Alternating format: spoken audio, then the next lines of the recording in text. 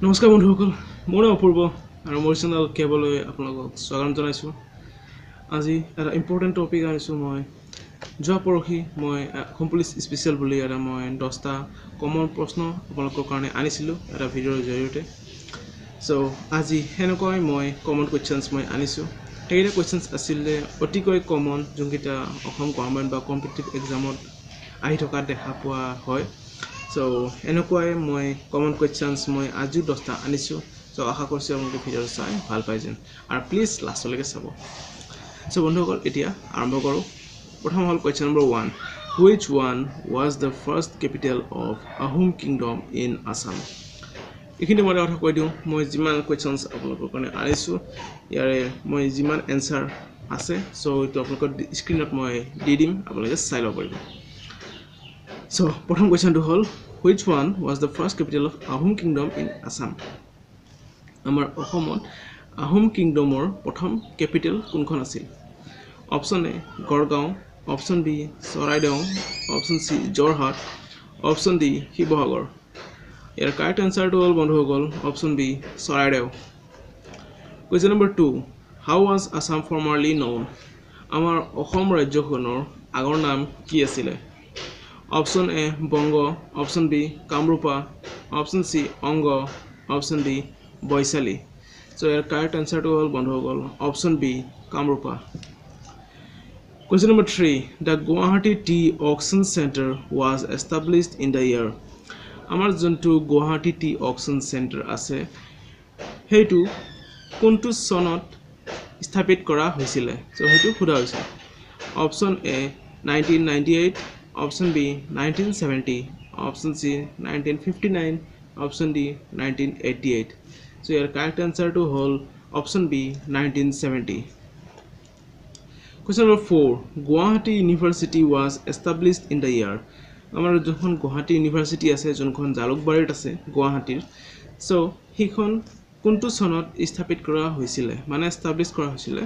Option A দিয়া হৈছে nineteen thirty five option B nineteen forty two option C nineteen forty eight option D nineteen fifty nine চ' ইয়াৰ correct এনচাৰটো হ'ল বন্ধুসকল option C nineteen forty eight এতিয়া হ'ল question number five which wildlife sanctuary of Assam boast of the golden langur আমাৰ অসম ৰাজ্যখনৰ এনে কোনখন ৱাইল্ড লাইফ চেংচুৰী আছে য'ত গল্ডেন লংগুৰ বেছিকৈ পোৱা যায় চ' বন্ধুসকল ইয়াতে অপশ্যন দিয়া হৈছে option A Pani Dihing option B Pabitora option C Laokhowa option D Chakrashila চ' ইয়াৰ কাৰেক্ট এনচাৰটো হ'ল বন্ধুসকল option D Chakrashila wildlife sanctuary Question number 6. Of the total production of Muga, the golden silk in the world, Assam produces গোটেই পৃথিৱীৰ ভিতৰত of the total production of muga muga যোনটো আমাৰ অসমে আমাৰ অসমৰ যোনটো আমাৰ বহুত জানা শুনা প্ৰডাক্ট এটা আমি সকলোৱে চিনি পাওঁ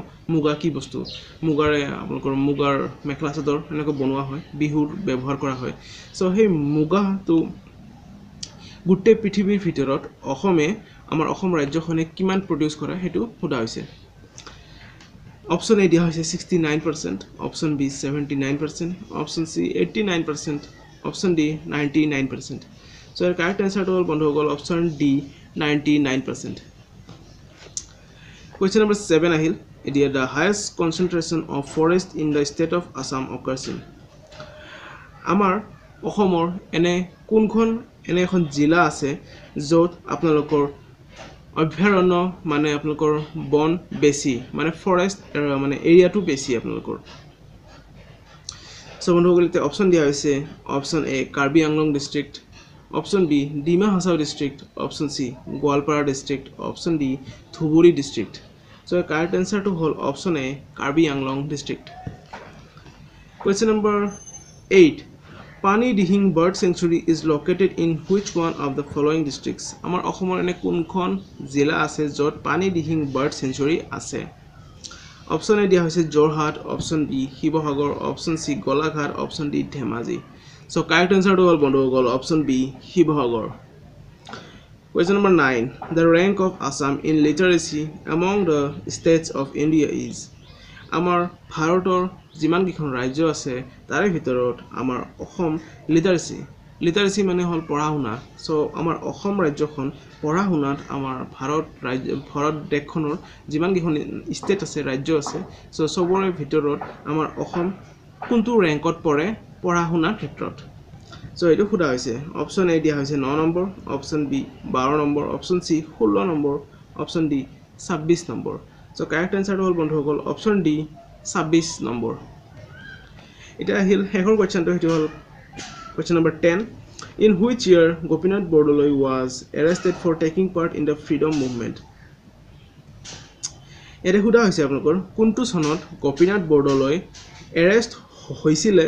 For taking part in the freedom movement মানে স্বাধীনতা আন্দোলনত আপোনালোকৰ ভাগ লওঁতে গোপীনাথ বৰদলৈ কোনটো চনত এৰেষ্ট কৰা হৈছিলে? ইয়াতে অপশ্যন দিয়া হৈছে option A nineteen fifteen option B nineteen eighteen option C nineteen twenty option D nineteen twenty two so correct answer হ'ল বন্ধুসকল option D nineteen twenty two চ' বন্ধুসকল এইকেইটা আছিল কমন কুৱেশ্যনছ এইকেইটা আপোনালোকৰ যিহেতুকে আহিবলগা এক্সাম আছে আপোনালোকৰ অসম পুলিচৰ তাতে আপোনালোকৰ এইকেইটা আহিব খুবেই সম্ভাৱনা আছে। গতিকে মই আপোনালোকক কৈ দিলোঁ আপোনালোকৰ যেন ভাল হয়।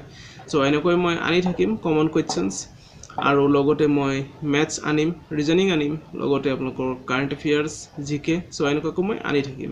চ' বন্ধুসকল এতিয়ালৈকে মই এৰি দিছোঁ। যদি এইটো ভিডিঅ' ভাল পাইছে তেনেহ'লে প্লিজ লাইক আৰু শ্বেয়াৰ কৰি দিব নিজৰ বন্ধুসকললৈ। আৰু আগলৈকেও যদি মোৰ চাকৰি ৰিলেটেড ভিডিঅ' চাই থাকিব বিচাৰে নলেজ ৰিলেটেড তেনেহ'লে তলত থকা যোনটো ৰঙা ছাবস্ক্ৰাইব বাটন আছে সেইটো ক্লিক কৰি দিব। আৰু ছাবস্ক্ৰাইব ক্লিক কৰাৰ পাছত আপোনালোকৰ ছাইডত এটা বেল আহে চ' বেলটো আপোনালোকে ক্লিক কৰি দিব। তেতিয়াহ'লে মোৰ আগলৈকে যিমান মই চাকৰি বা নলেজ ভিডিঅ'ছ মই দি যাম আপোনালোকে আগতীয়াকৈ পাই যাব। চ' বন্ধুসকল মই এতিয়ালৈকে আহিছোঁ। জয় হিন্দ।